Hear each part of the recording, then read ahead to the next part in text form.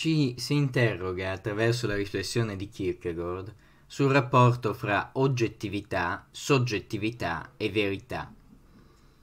Ora mostrerò, per chiarire la differenza fra il cammino della riflessione oggettiva e quello della riflessione soggettiva, la ricerca della riflessione soggettiva nel suo cammino all'indietro e verso l'interiorità. Il culmine dell'interiorità in un soggetto esistente è la passione, alla passione corrisponde la verità come paradosso. E il fatto che la verità diventa paradosso è precisamente fondato nel suo rapporto al soggetto esistente. Così l'un termine corrisponde all'altro. Se ci si dimentica di essere un soggetto esistente, la passione se ne va. La verità non diventa per compenso qualcosa di paradossale, ma il soggetto conoscente, da uomo che era, diventa un'entità fantastica e la verità un oggetto fantastico per questo conoscere. Quando si pone il problema della verità in modo oggettivo, si riflette oggettivamente sulla verità come su un oggetto al quale il conoscente si rapporta. Non si riflette sul rapporto, ma sul fatto che è la verità, il vero, ciò a cui ci si rapporta. Quando ciò a cui ci si rapporta è soltanto la verità, il vero, allora il soggetto è nella verità. Quando si pone il problema della verità in modo soggettivo, si riflette soggettivamente sul rapporto dell'individuo. Se soltanto il come del rapporto è nella verità, allora l'individuo è nella verità, anche se a questo modo egli si rapporta alla non verità. Prendiamo come esempio la conoscenza di Dio. Oggettivamente si riflette sul fatto che c'è il vero Dio, soggettivamente sul fatto che l'individuo si rapporta a un qualche cosa in modo che il suo rapporto è in verità un rapporto a Dio. Ora, da quale parte si trova la verità?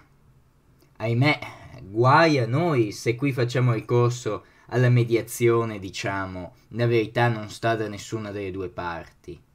Essa è nella mediazione. Risposta eccellente.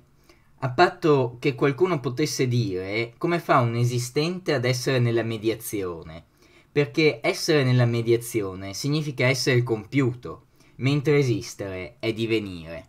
Questa è una delle tesi principali e più importanti di Kierkegaard. Un esistente non può trovarsi in due posti ad un tempo, essere soggetto ed oggetto.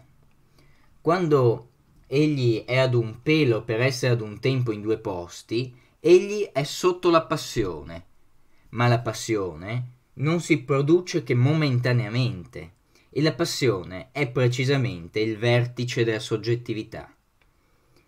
L'esistente che sceglie il cammino della soggettività concepisce nello stesso momento tutta questa difficoltà dialettica di dover impiegare qualche tempo, forse un lungo tempo, per trovare Dio oggettivamente. Egli comprende questa difficoltà dialettica in tutto il suo dolore, perché egli deve nello stesso momento usare Dio, perché ogni momento in cui egli non ha Dio è sprecato mentre il pensatore oggettivo è indifferente rispetto al soggetto pensante e alla sua esistenza. Il pensatore soggettivo, come esistente essenzialmente interessato al suo proprio pensiero, è esistente in esso. Perciò il suo pensiero ha un'altra specie di riflessione, cioè quella dell'interiorità, della possessione, con cui esso appartiene al soggetto e a nessun altro.